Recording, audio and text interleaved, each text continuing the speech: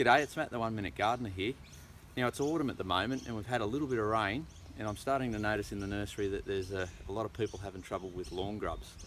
What I wanted to make this little video of, and I don't know how we were going to see it at the moment, is um, this is my back lawn at the moment and I've been resisting spraying because uh, those little black bugs you can see floating around above the lawn there are a friend to the gardener and, the, and, and to your lawn. It's a parasitic wasp that actually stings and lays an egg inside the lawn grub.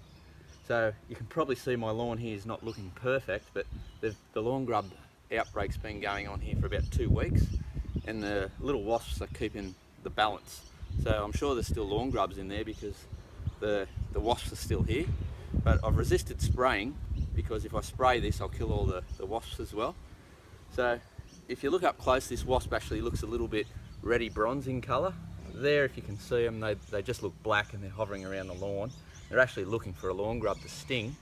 And their little, uh, little maggot, the little um, juvenile wasp grows up inside the, the lawn grub and, and kills it eventually. So it doesn't get to breed and turn into a moth and then reinfect further parts of your lawn. So that's a little friendly wasp.